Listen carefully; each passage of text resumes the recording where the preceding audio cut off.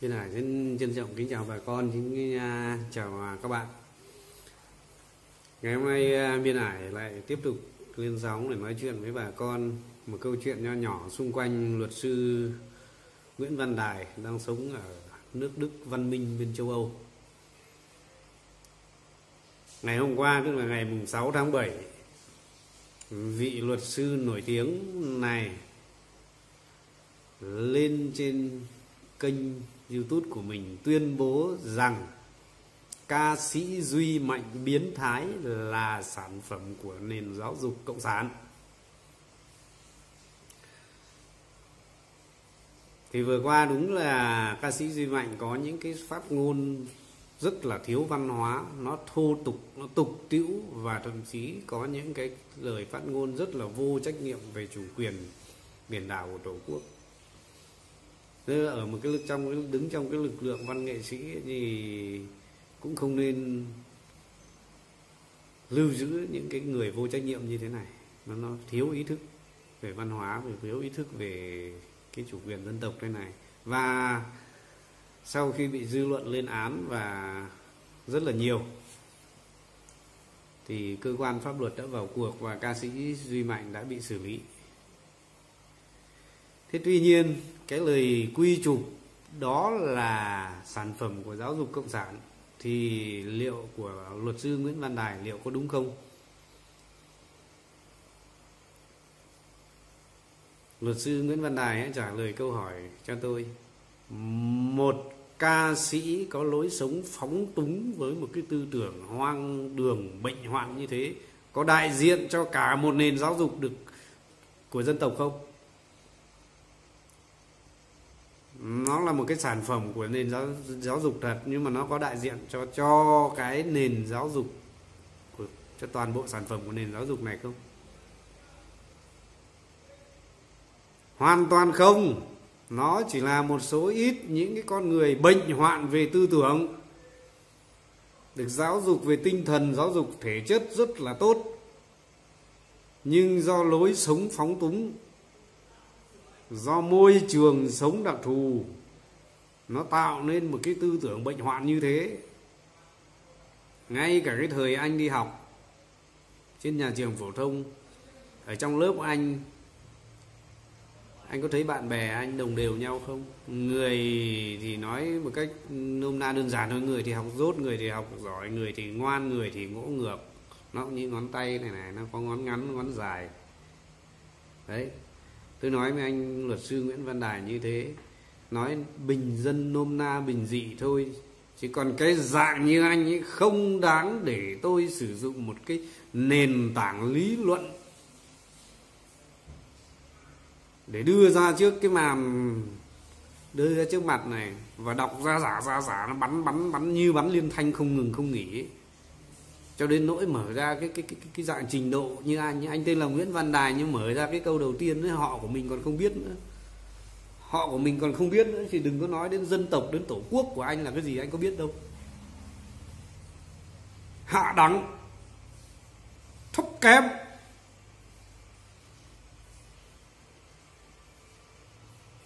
Anh tôn thờ cái nền giáo dục tự do dân chủ ở phương Tây thì hàng ngày nó diễn ra trước mắt anh đấy.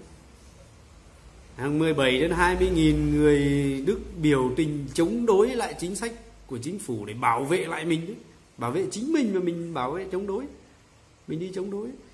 Cho đến nỗi cảnh sát còn phải bảo, phải kiện cái nhóm này, cái nhóm cầm đầu những cái đoàn biểu tình này. Có đúng không? Ngay tại nước Đức đó. Hả? Và sản phẩm của cái nền văn hóa phương tây ấy, đó là cái gì? Đó là từ thế hệ này đến thế hệ khác các linh mục ấu dâm. Có phải không ạ? Đó là trẻ em trộm cắp rồi hút cần sa tiêm trích heroin đầy đường. Đó là hiếp dâm giữa ban ngày phải không? Thậm chí cái đứa bé sơ sinh đứa bé mấy tháng tuổi ấy, nó cũng bị nó trở thành nạn dân, nạn nhân của hiếp dâm. Rồi như bên mỹ, tan hoang đi, cướp phá, bạo động, phân biệt kỳ thị, chủng tộc. Là nước đức có không? Khi đợt dịch lần đầu tiên đấy rất là coi thường dịch. Thấy người châu Á đeo, thấy người châu Á, người Việt Nam đeo khẩu trang thì xua đuổi, đánh đập. Rồi đến lúc chạy ầm ầm đi đeo không đi mua khẩu trang. Có phải không? Đấy. Thế còn cái điều thứ hai nữa anh nói là gia đình giáo dục không tốt, cái nhân cách hình thành từ gia đình phải đúng. Cái nôi đầu tiên hình thành nhân cách là giáo dục gia đình, nhưng anh đã biết đến gia đình nhà duy mạnh như thế nào mà anh quy chụp. Và kể cả bản thân anh nữa. Phải không ạ? Anh anh sinh trưởng trong một cái gia đình công chức thì tôi tin rằng nhà trường thì không bao giờ dạy anh phản bội tổ quốc anh chống đối nhà nước. Anh phạm pháp rồi đến nỗi anh đi vào tù. Rồi đến nỗi rồi nhân đạo quẳng anh ra nước ngoài đi. Đấy anh ngồi bây giờ anh nói anh anh anh anh, anh chửi bới đảng chửi bới nhà nước chống đối chống phá chế độ kích động nhân dân. Cái điều này đối với những cái kẻ chống cộng như anh ấy, nó nhàm chán lắm. Tôi nghe tôi nghe nhàm chán lắm rồi. Cứ cứ việc chống phá đi. Còn tôi tôi đang, tôi đau lòng hộ bố mẹ. Cái thế hệ tuổi của anh không cách xa tôi bao nhiêu đâu. Vài tuổi thôi. Anh sinh trưởng trong một cái gia đình công chức thì tôi tôi tin rằng bố mẹ anh không bao giờ dạy anh như thế. Đấy gần mực thì đen, gần đèn thì sáng. Các cụ đã dạy như thế rồi. Thế cái đèn của anh gần được để anh thay đổi tư tưởng. Bắt đầu phỉ báng lên dân tộc từ bao giờ? Từ khi anh lợi dụng cái, anh nhờ cái thế lực của dòng họ, của gia đình anh anh được sang Đông Đức năm 1989 đúng cái lúc biến động xã hội, bức tường Berlin sụp đổ đã nhiễm vào đầu anh một cái tư tưởng dân chủ bệnh hoạn. Và tôi cho đó là anh bị đào thải bởi, anh bị đào thải khỏi xã hội Việt Nam bởi sự khuyết tật trí tuệ thụ động. Nói một cách bình dân đơn giản là thế này, trên cái dàn bầu, dàn bí, dàn mướp ấy, nó nở ra vài trăm bông hoa nhưng cuối cùng nó cũng chỉ có hơn trăm quả thôi hơn trăm quả này đến lúc trưởng thành để sử dụng được ấy. Hoặc là già đi nó chỉ còn vài chục quả thôi có nghĩa là cái sự đào thải trong tự nhiên nó hết sức khốc liệt. Nhưng trong xã hội loài người ấy, cái sự đào thải này ấy, nó ít hơn. Trước hết là đào thải về thể chất ốm đau bệnh tật mà mất đi thì con số này nó nhiều hơn cái loại nó nhiều hơn cái cái cái cái số mà khuyết tật trí tuệ để đến nỗi bị đào thải ra khỏi dân tộc như anh, đào thải khỏi tổ quốc như anh.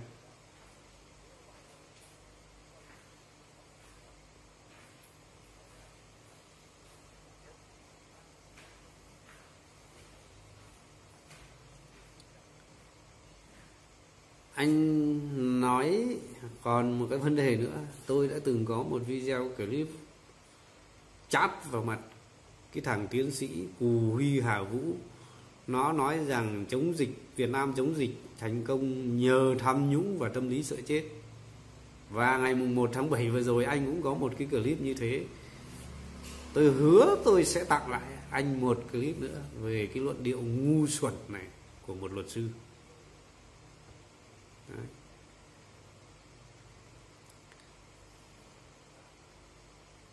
Xã hội bây giờ là à, cái thế giới bây giờ là thế giới phẳng. Anh có thấy những cái đứa trẻ trâu trong nông thôn nó cầm những cái điện thoại thông minh nó cầm máy quay camera nó cầm những cái thiết bị công nghệ hiện đại để nó giao lưu với toàn thế giới không? Có thấy không ạ?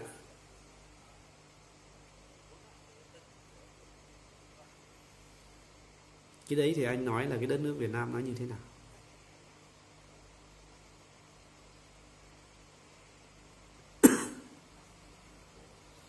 Và bây giờ ấy, anh hãy xem xem. Hãy hãy nhìn về Việt Nam qua hai cái đợt dịch này xem cái sản phẩm của giáo dục cộng sản nó như thế nào. Khi đợt dịch một bùng phát, công an, bộ đội nhường cả doanh trại cho dân cách ly. Nhà nước tuyên bố hy sinh kinh tế để bảo vệ tính mạng nhân dân, trong khi phương tây các anh làm ngược lại hy sinh người dân để bảo vệ kinh tế. Bao nhiêu chuyên cơ của Việt Nam bay đi khắp thế giới để đón người Việt trở về quê hương. Trong đó có cả kiều bào, có cả du học sinh, có cả người lao động, vân vân. Thậm chí có cả những kẻ chống phá vừa mới xuống sân bay, nó vào khu cách ly bắt đầu nó kích động nó phá rối. Thế nhưng mà tất cả đều không mất một đồng nào về ăn về uống về chỗ ở. Là hàng ngày được thăm khám miễn phí, còn bên ngoài xã hội thì sao? Tất cả những cái doanh nghiệp, các nhà triệu phú cho đến những cái bình dân, người ta chung tay đấu sức vào. Những cây ATM gạo mọc lên nhan nhản các trung tâm lớn nhỏ và hiện nay ở Đà Nẵng, tôi nói thật ở hiện nay Đà Nẵng, hãy xem cái nữ bác sĩ chia tay gia đình, chia tay cơ quan đi vào hỗ trợ Đà Nẵng, cái lời nói chia tay như cái lời sinh ly tử biệt thời chiến ấy. đi bao giờ hết dịch thì về Đấy. thế còn tại Đà Nẵng thì đội nghĩ câu ngũ công an, bác sĩ, bộ đội luôn luôn tiếp sức hết mình từ kể cơ, từ cơm ăn đến nước uống tất cả người lao động nghèo, rồi là người du lịch bị mắc kẹt, sinh viên mắc kẹt, không, tại Đà Nẵng không về được, không lo đói, có rất nhiều điểm phát lương thực miễn phí, thậm chí được nhà nước hỗ trợ cho ăn uống hàng ngày các loại xe bán tải từ 4 chỗ 7 chỗ, vân vân. Nối đuôi nhau hàng hàng dài, sẵn sàng hỗ trợ. Các đội từ thiện đi khắp nơi. Có những có những cái nhóm xe hàng ngày thì làm du lịch, thì bây giờ sẵn sàng đưa đón cả bà mẹ, bà bầu đi sinh những cái đội xe du lịch đấy, họ liên tục gọi đến những cái đường dây nóng hàng ngày ấy, của chính quyền ấy, để xin đăng ký đi đưa đón các bác sĩ tăng cường ở khắp nơi đến cho Đà Nẵng. Đấy. mặc dù làm cái nhiệm vụ này, không ai bảo họ làm đâu, họ đông, họ tự nguyện đấy.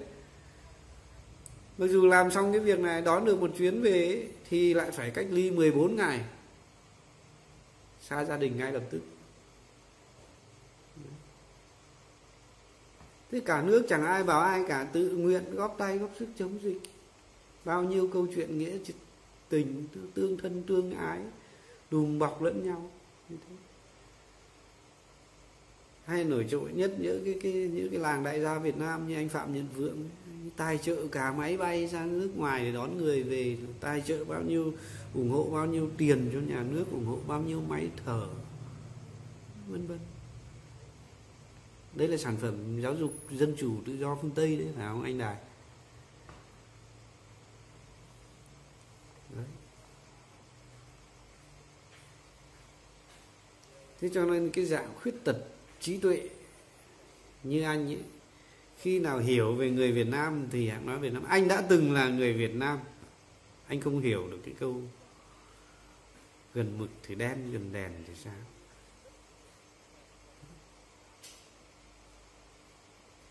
Đối với những người bị đào thải, duy mạnh ấy bây giờ nó biết nhận lỗi rồi về sau này còn nối, còn cải chưa chắc cũng có thể nó bị đào thải, nhưng chưa chắc nó bị đào thải như anh.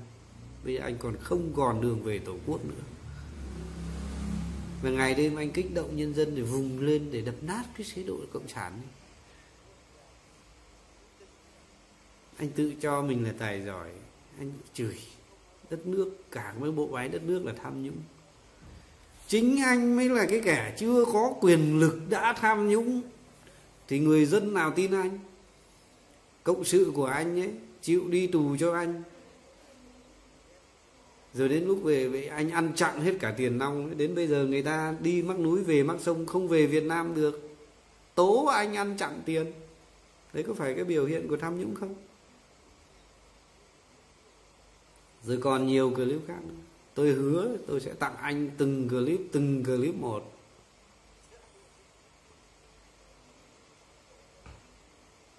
Mà những cái gì tôi nói với anh ấy, chỉ bằng một cái trình độ học thức của một cái anh nói thật với anh đài như thế này tôi vốn dĩ là một cái thằng thất học. Về sau này may mắn được đi học bổ túc văn hóa bây giờ có cái bằng tú tài hệ bổ túc văn hóa. Thế cũng may mắn hơn nữa thì được đào, đào tạo chuyên chuyên môn ấy, thì biết cầm cái thước chỉ bản đồ dạy cho học sinh đâu là nửa cầu đông nửa cầu tây.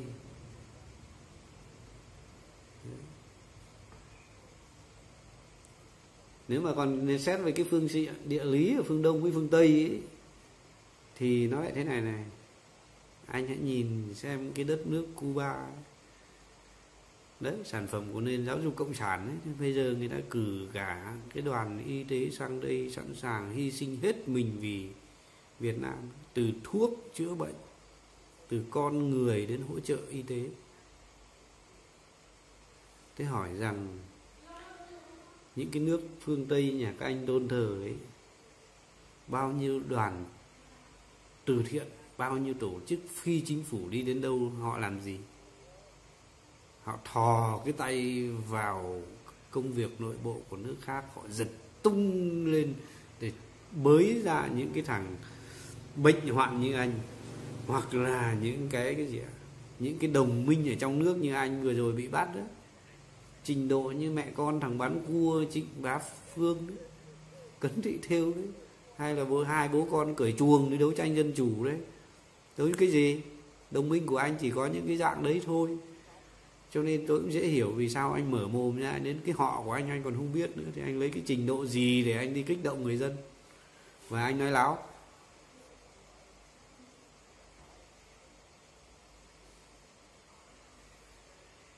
Chó thì ba khoanh mới nằm, người thì uốn lưỡi bảy lần thì mới nói. Thế bây giờ đất nước đang gặp khó khăn đấy, anh nói giỏi lắm. Anh nói giỏi lắm, anh luôn luôn hứa cho quyền lợi cho người dân, cho được tự do, được sung sướng, được hạnh phúc. Đem tiền về đi. Đem thiết bị, y tế về đi để hỗ trợ người dân chống dịch đi đảm bảo quyền lợi người dân như mồm anh nói đi. Như thế thì người ta mới tin được anh chứ. Nói suông nói suông nói phét. Ta nói phét nói suông rồi bây giờ lại, lại, lại, lại, lại còn, còn còn càng nói càng lòi cái đuôi rốt nát của mình ra. Đấy. luật sư cái gì? Lên truyền hình cái tôi luật sư nguyễn văn đại xưng danh làm luật sư quấy phá nổi tiếng đến Việt Nam ấy, người Đức người ta nhập khẩu anh về đấy làm cái thằng hề. Ngày thì đi làm cu ly. Tối về đấy bắt đầu viết sẵn mấy cái từ ra đặt trước mặt này lên bắn nó có xứng đáng với cái trình độ luật sư.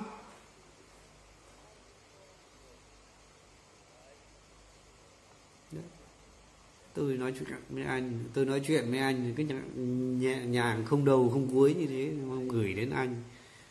Và thậm chí hy vọng là ở trong nước ở tận quê nhà hưng yên nhà anh nữa cha mẹ họ hàng nhà anh cũng nghe được để mà tự hào. Đấy.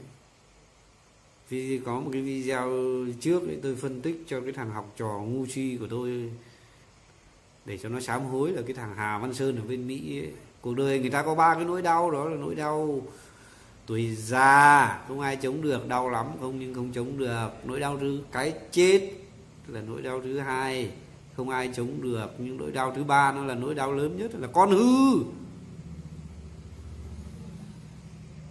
Nguyễn Văn Đài, nghe đây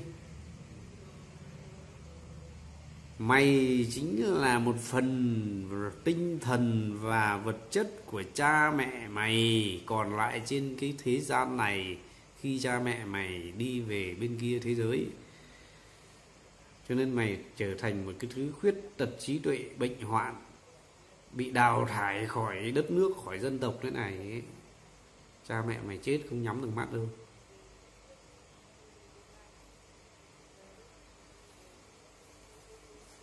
à, Trần Biên Hải xin à, lỗi bà con bởi vì dùng ngôn ngữ thô bạo một chút. Điên quá thì không dừng lại được. Xin trân trọng kính chào bà con kính chào các bạn.